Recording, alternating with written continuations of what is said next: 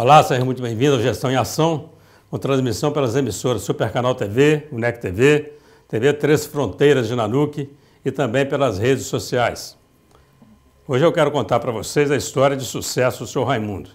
Ele é dono de um negócio no ramo alimentício, sendo proprietário de um restaurante. No estabelecimento, ele serve pratos à la carte, self-service e tira gosto. A cerveja está sempre gelada, o cardápio de drinks e sucos é variado, as cadeiras são confortáveis e as toalhas de mesa são impecavelmente limpas e bem passadas. É muito comum, em função do horário, o cliente ter que enfrentar uma fila, pegar a senha e ter que aguardar um pouco até que consiga sentar-se à mesa. Enquanto espera, o cliente aguarda na área do bar, saboreando uma bebida qualquer enquanto escuta uma boa música. Mesmo em períodos de crise, com os outros restaurantes praticamente vazios, o restaurante do Sr. Raimundo está sempre cheio. O que mantém o restaurante do Sr. Raimundo tão frequentado, com os negócios indo de vento em popa o ano inteiro? É que o Sr. Raimundo não é apenas um dono de restaurante, ele é um prestador de serviços. Ele entende que o cliente, quando lhe entrega dinheiro em troca do seu produto, entrega-lhe um valor que custou adquirir, que não se encontra em árvores e que exige suor para adquiri-lo. Ele sabe que a única maneira de fazer com que o cliente não sinta remorso em lhe entregar tal valor é oferecer-lhe outro valor.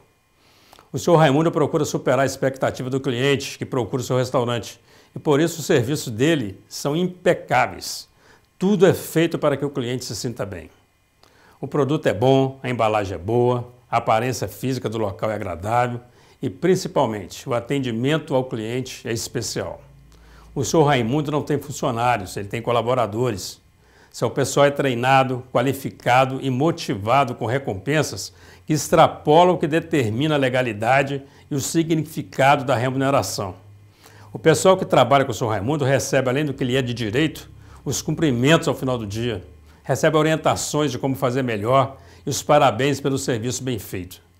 A cada mês, sempre aos domingos, um quadro na parede do estabelecimento é renovado e um rosto novo surge como colaborador de destaque do mês.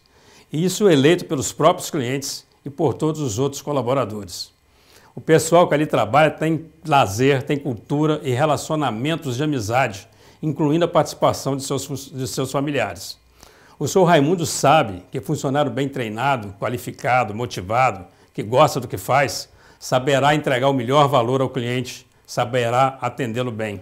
Ele também sabe que os efeitos de um atendimento inadequado ao cliente são muito mais relevantes que os advindos do bom atendimento. Ele sabe que cliente satisfeito conta a sua experiência para no máximo 5 pessoas, mas se for mal atendido, contará para 10, 15, 20 pessoas. Essa é a receita de sucesso do Sr. Raimundo. Tratar os funcionários com respeito e o cliente como o pilar mais importante do seu negócio. Muito obrigado pela atenção, pela audiência e até o nosso próximo encontro, se Deus quiser.